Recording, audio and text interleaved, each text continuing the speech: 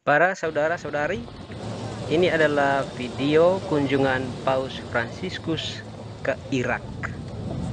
Paus Fransiskus berada di Irak sejak tanggal 5 kemarin. Beliau adalah paus pertama yang mengunjungi Irak. Apa yang melatar belakangi Paus Fransiskus mengunjungi Irak? Ada tiga hal penting yang dapat kita petik, yang dapat kita simpulkan dari kunjungan Paus Fransiskus ke Irak. Pertama, kunjungan Paus Fransiskus ke Irak adalah sebuah jawaban atas undangan dari Presiden Irak Barham Salih yang mengirim undangan Paus Fransiskus pada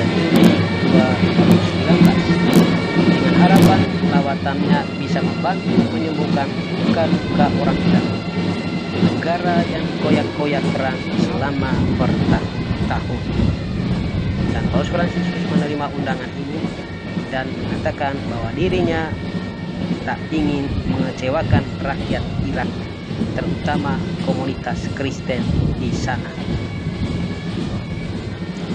Maksud kedatangan Paus Fransiskus ke Irak yaitu untuk menciptakan persaudaraan atau mencari persaudaraan, mencari saudara. Saya datang ke tengah-tengah Anda juga sebagai musafir perdamaian mencari persaudaraan dan didorong hasrat untuk berdoa dan berjalan bersama.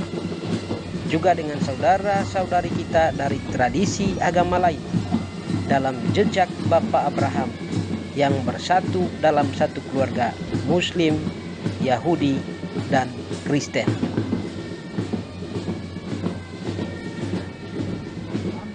Melalui video sehari sebelum memulai kunjungan, Paus Fransiskus mengatakan dirinya datang sebagai musafir, sebagai musafir dengan kerendahan hati untuk memohon ampun kepada Tuhan, serta rekonsiliasi setelah perang dan terorisme selama bertahun-tahun.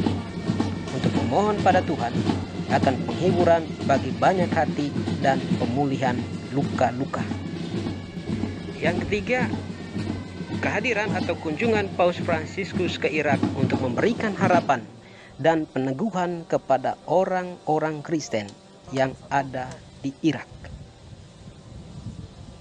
Paus berkata kepada umat Kristen di Irak, "Saya ingin membawakan belayan penuh kasih dari segenap gereja yang dekat dengan Anda dan kepada Timur Tengah yang dipenuhi peperangan serta mendorong Anda untuk tetap bergerak maju.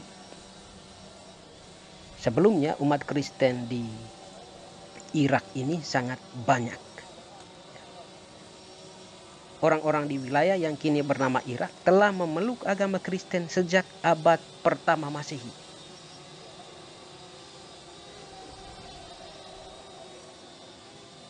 Sekitar 67% dari mereka adalah penganut Katolik Kaldean yang punya liturgi dan tradisi ketimuran namun mengakui otoritas paus di Roma. Sebanyak 20% lainnya adalah anggota gereja Assyria Timur yang diyakini sebagai komunitas Kristen tertua di Irak. Sisanya adalah penganut Ortodoks Suria, Katolik Suria, Katolik Armenia, Apostolik Armenia, ada pula penganut Anglikan, Evangelikal, dan umat Protestan lainnya.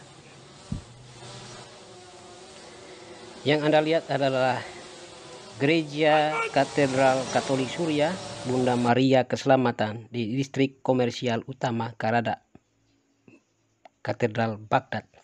Pada tanggal 31 Oktober 2010, militan Islam menyerbu gereja tersebut dan membunuh 44 orang umat, dua orang imam, dan tujuh orang aparat pasukan keamanan dalam salah satu serangan paling mematikan dalam komunitas Kristiani Irak yang semakin merosot tersebut.